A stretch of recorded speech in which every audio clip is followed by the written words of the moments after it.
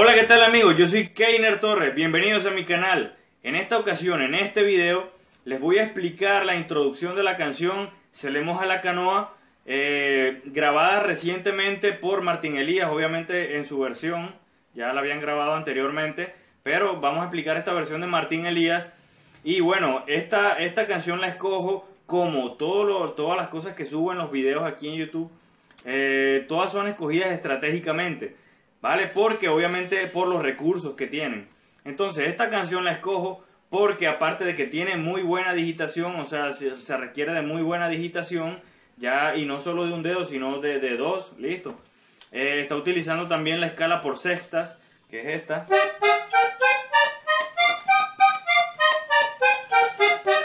Entonces está utilizando esa escala y vamos a aplicarla entonces en esa canción. Es muy sencillo, pero obviamente les va a servir para manejar un poco la digitación. Vamos a empezar esta canción en la hilera de la mitad, en este acordeón 5 letras, y vamos entonces a ubicar el quinto grado de la escala diatónica. Vale, 1, 2, 3, 4, 5. Y vamos a hacer lo siguiente, ahí vamos a hacer cuatro repeticiones. Listo, y vamos a utilizar esta primera nota de la escala eh, por sextas. Vamos a repetirla también cuatro veces, quiere decir que queda. Subimos el índice y vamos a hacer hacia afuera también cuatro veces. Listo, entonces queda. Bajamos la misma posición también hacia afuera y la volvemos a subir. Listo, queda. La respuesta a eso, vamos a empezarlo también aquí en la quinta. Vamos a hacer las cuatro veces también. Pero en esta ocasión vamos a abrir, vamos a hacer las cuatro veces. Vamos a hacer, vamos a subir entonces el anular y vamos a hacer hacia adentro también cuatro veces. Bajamos la misma posición hacia adentro y volvemos a subir. Entonces esa respuesta quedaría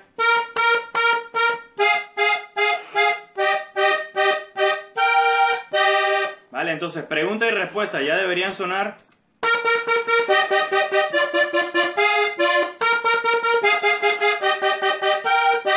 Volvemos a repetir esto. Listo, y solamente vamos a repetir entonces esa pregunta.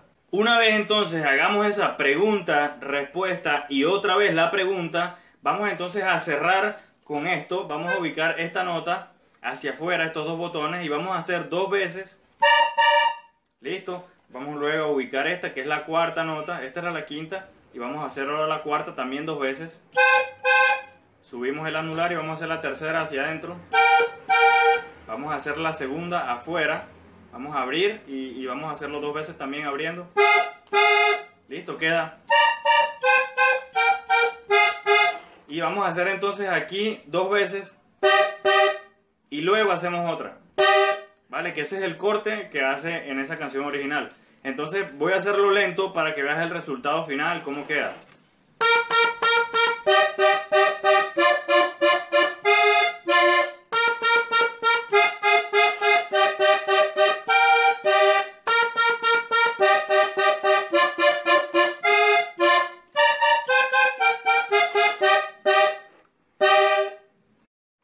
Así quedaría entonces ya la canción. Obviamente la idea es hacerlo un poco más rápido. Les recomiendo que escuchen la canción original. Y bueno, ya obviamente ya eh, con forma, ya con todo, ya debería sonar.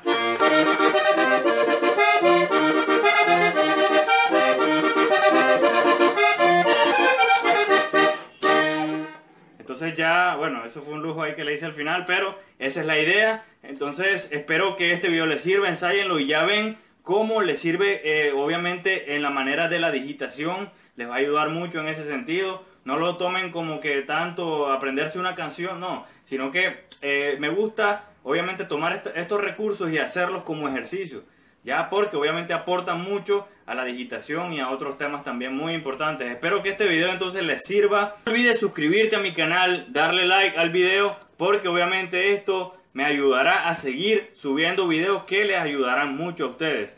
Entonces, espero que este video les sirva, ensayen mucho y nos vemos entonces en un próximo video.